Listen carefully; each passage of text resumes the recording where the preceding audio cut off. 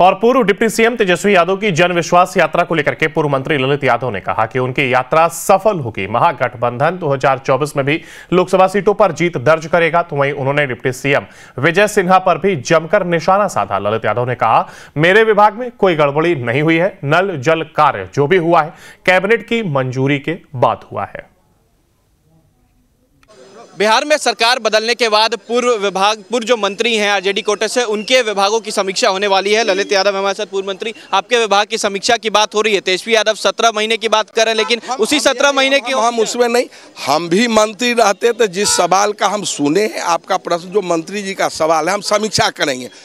और समीक्षा के उपरांत जो तो अभी तो टेंडर हुआ ही है निष्पादन भी नहीं हुआ है तो इसमें कोई गड़बड़ी का कहाँ सवाल होता है? आ गड़बड़ी होगी तो जाँच होनी चाहिए हम भी मंत्री रहते तो जाँच करते। लेकिन जाँच की बात सिर्फ़ आप पर ही नहीं आई है तेजस्वी यादव पर भी आई है कह रहे हैं कि नहीं जाँच होगी सबकी जाँच किसी को नहीं बख्शा जाए। हम जिस विभाग के मंत्री हैं उस विभाग की बात आपको स्थिति स्पष्ट कर दिए ये अभी टेंडर का प्रोसेस है अभी निष्पादन भी नहीं हुआ। यदि निष्पादन में कोई गड़बड़ी होती तो हम भी मंत्री रहते तो जाँच करते। तो कार्रवाई से डर नहीं है अगर कुछ ऐसा होगा कार्रवाई कोई काम ही नहीं हुआ इसमें मंत्री का कोई भूमिका ही नहीं है। ये विभाग का काम है और ये टेंडरिंग से होता है।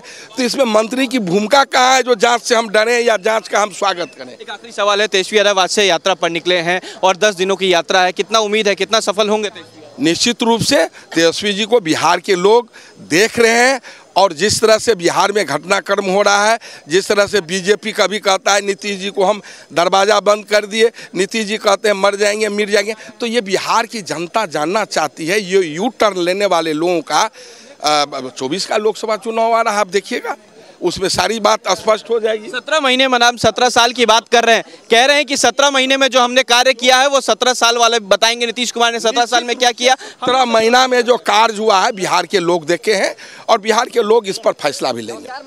ये थे हमारे साथ पूर्व मंत्री ललित यादव साहब कहा है कि जो हमारे विभागों की जाँच है तो करे लेकिन अब तक कोई टेंडर हुआ ही नहीं है और डर किसी बात का नहीं है। नीतीश कुमार ने कुछ दिन पहले ही कहा था कि तेजस्वी यादव और उनके संबंधित जितने भी नेता थे उनके विभागों की जाँच जो है वो की जाएगी। साथ ही साथ तेजस्वी यादव के यात्रा पर कहा कि तेजस्वी यादव की यात्रा सफल होगी और लोकसभा में 40 सीटों में सबसे अधिक सीट जो है, वो आरजेडी की आएगी। वीडियो जर्नलिस्ट सत्यन कुमार के साथ उत्कर्ष, न्यूज़ नेशन, पटना।